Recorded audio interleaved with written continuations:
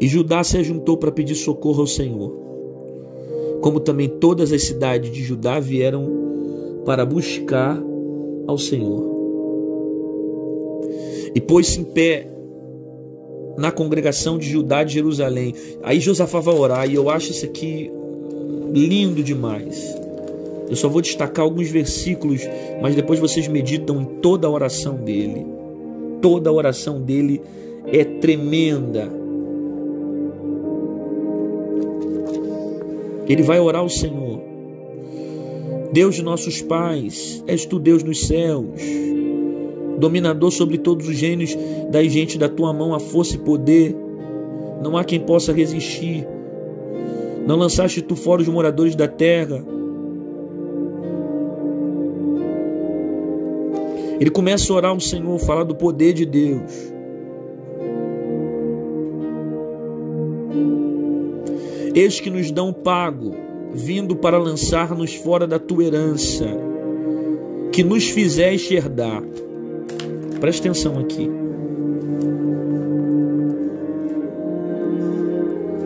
A oração de Josafá é baseada em conhecimento bíblico que ele tem. Ele tem conhecimento da palavra. Eu não vou ler tudo aqui, mas você vê ele citando os pais, Abraão. Ele está falando aqui de herança. Herança, que herança foi essa? Foi prometida a Abraão. Vem sobre Isaac, sobre Jacó. Ele está falando sobre a terra. Aqui ele está revelando o motivo pelo qual os três exércitos queriam entrar em Jerusalém. Os, os filhos de Amon, os Amonitas, os das montanhas de Seir, Moabita, eles queriam entrar na cidade para tomar a terra, queria a terra de Jerusalém. Aí Josafá está dizendo: essa terra aqui é nossa, o Senhor nos deu por herança. E nos fizeste herdar.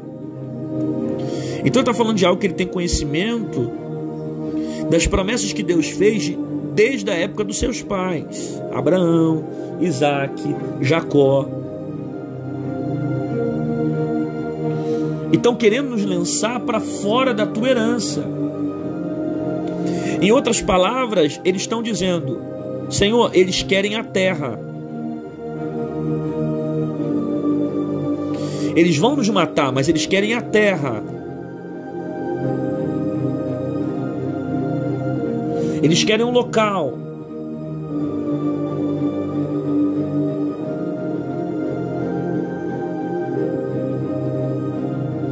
Eles querem essa herança.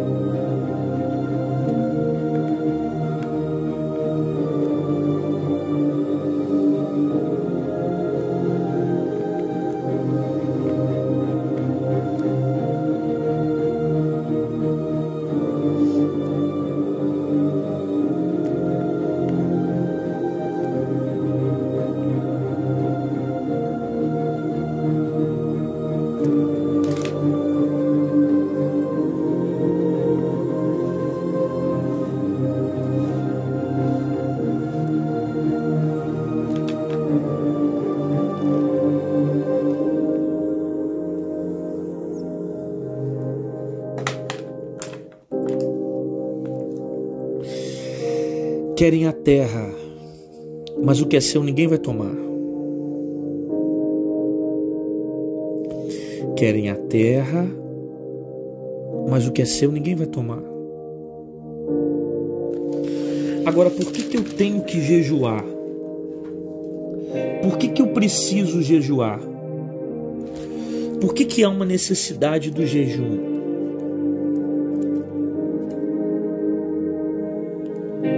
Por quê?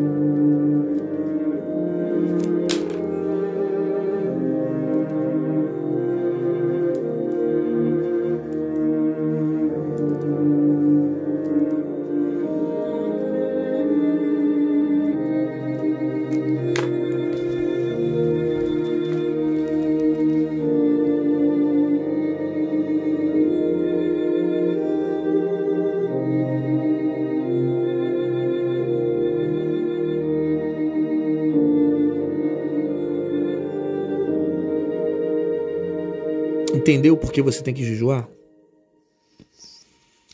Porque você só fica sensível às coisas do espírito quando você mata a carne. Só ouve o espírito quem mata a carne.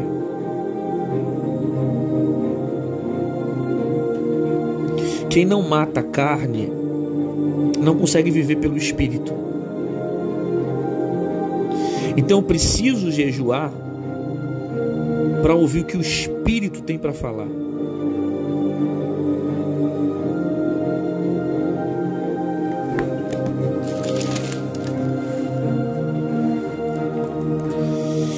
Eles querem a terra, mas o que é teu ninguém vai tomar.